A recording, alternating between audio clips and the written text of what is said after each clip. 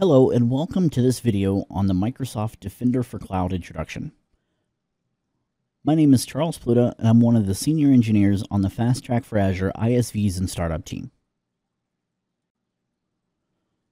In this video, we'll demonstrate how to get started with Microsoft Defender for Cloud. That includes associating a default policy with a subscription and then looking at the features that Defender for Cloud offers. That includes the secure score, advisor recommendations, configuring just-in-time access to virtual machines, regulatory compliance, and the environment settings.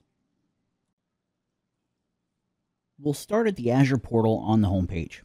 Let's use the search bar to begin searching for Defender, which will provide us the result for the Defender for Cloud. Let's select that, and then if this is the first time that you're going to the Defender for Cloud page, it'll bring us to the Getting Started page.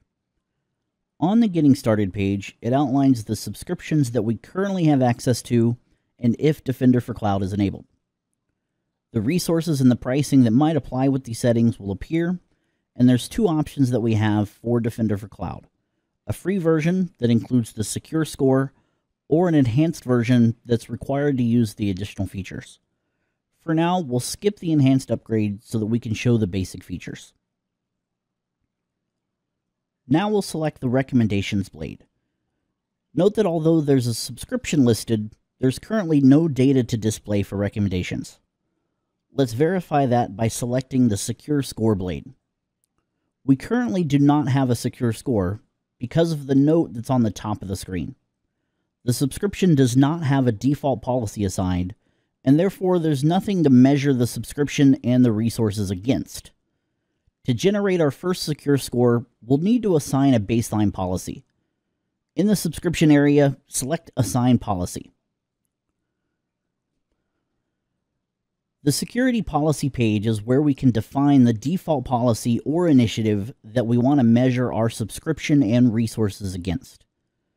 After we upgrade to the enhanced version, we'll be able to manage the regulatory compliance policies as well, but notice they can't be configured at the moment. From here, we'll select Assign Policy. This will bring us to the Azure Security Benchmark screen, which is a built-in Azure policy initiative that contains nearly 200 individual policy definitions that we can use to audit the subscription with. To associate the initiative with the subscription, we'll select Review and Create, and then select Create. It takes about 30 minutes for the policy to be applied in the background and for Defender for Cloud to begin auditing the configuration of the resources that we currently have deployed in the subscription. After about 30 minutes, we can return to the Secure Score blade and we'll see our initial Secure Score. This is calculated by auditing the resources that are currently deployed in the subscription and measuring that configuration of those resources against the Azure Security Benchmark. In our demonstration environment, we have deployed resources with the default configurations, so we're only at about 28% overall secure score. We can increase that score by completing the actions that are listed on the recommendations page. From here, select View Recommendations. The secure score recommendations are segmented into different categories named controls. Each control has a list of individual actions that can be taken against the resources that are considered unhealthy as compared against the Azure Security Benchmark. These are the sections that are listed towards the bottom of the recommendations page. Each control category has columns for the maximum score of that security control, the current score of the resources, and the potential score increase if you were to perform all of the actions that are suggested in that control category. Let's expand the Secure Management Ports control. Here we have three actions that are recommended under this control category. The first action, that internet facing virtual machines should be protected with network security groups, already meets the benchmark setting and has no unhealthy resources. However, the next two actions for management ports do have recommended actions to take. Let's select the second option, management ports should be closed on your virtual machines. This displays a list of unhealthy resources based on this recommendation, in this case, three virtual machines. Expand the remediation step section to display the suggested steps to take to remediate the configuration.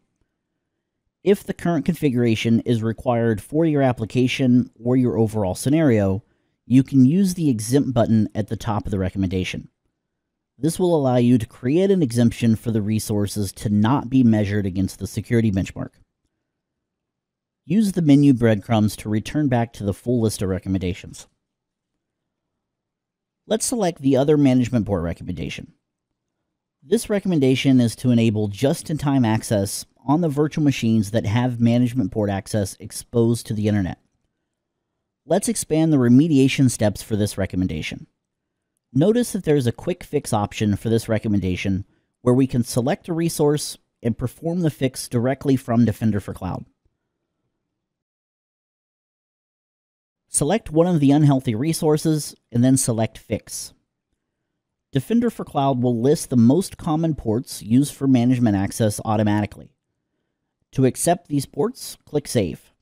We've now remediated the selected virtual machine, but it could take up to 24 hours for the change to be reflected in both the secure score and the list of recommendations.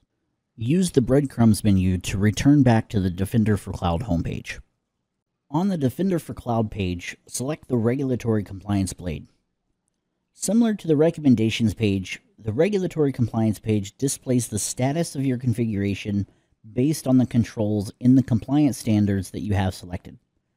By default, the Azure Security Benchmark will be displayed. Currently, we have tabs for the Azure Security Benchmark, ISO 27001, PCI compliance, and the SOC TSP compliance. In the top menu, select Manage Compliance Policies. This brings us to the Environment Settings page. If necessary, expand the management group tree to display your subscription and then select the subscription link. Because we skipped enabling the enhanced security features earlier, this is where we can manage which resource types we enable the enhanced security for. In the left menu, select Security Policy. The Security Policy page displays the policies the resources in the subscription are managed mm-hmm. against. There are several other industry and regulatory standards that we can measure the subscription against. In the Industry and Regulatory Standards section, select Add More Standards.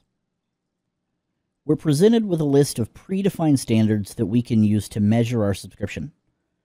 For this demonstration, we might have an application that will be used in the healthcare industry. Locate the HIPAA HITRUST standard and select Add. This brings us to the Assign Initiative screen, where we'll associate the policy to our subscription. This specific policy requires certain parameters to be defined as part of the policy, as shown on the Parameters tab. This includes a list of allowed applications on the servers, the storage account prefix for diagnostic accounts, as well as the resource group for those accounts, and a list of certificate thumbprints that will be used with the application. Review these settings, then select Review and Create, and then Create. After the policy is associated, you'll be returned to the list of regulatory compliance standards. Notice the new policy is listed in the regulatory menu options. The last section of the Defender for Cloud that we'll look at are the remaining environment settings. From the menu, select Environment Settings. If you have a management group, expand it and then select the subscription link. The environment settings that can be configured include the Defender for Cloud settings for the supported resource types, auto provisioning settings, email notifications, and more. Review the available resources that you can enable Defender for Cloud on, and then select auto provisioning from the left hand menu. Some of the recommended actions might include installing agents on virtual machines or performing vulnerability assessments on the resources that have been deployed. You can configure automatic provisioning of the extensions that are required for each possible action. Review the available extensions, and then select the Email Notifications blade in the left menu. The Email Notifications blade allows you to configure emails for alerts that might occur in the subscription. The Email Recipient section defines who will receive the emails, and the notification type section determines which severity level triggers that email being sent. By default, the owner of the subscription receives emails if high severity alerts are triggered. In this video, we discussed how to get started with Defender for Cloud and calculate your first secure score against the Azure Security Benchmark. Then we looked at the advisor recommendations based on the current configuration of the environment including enabling just in time access to a virtual machine. Next, we reviewed and added additional regulatory compliance policies to our subscription to measure our deployment against. Finally, we reviewed the environment settings for Defender for Cloud.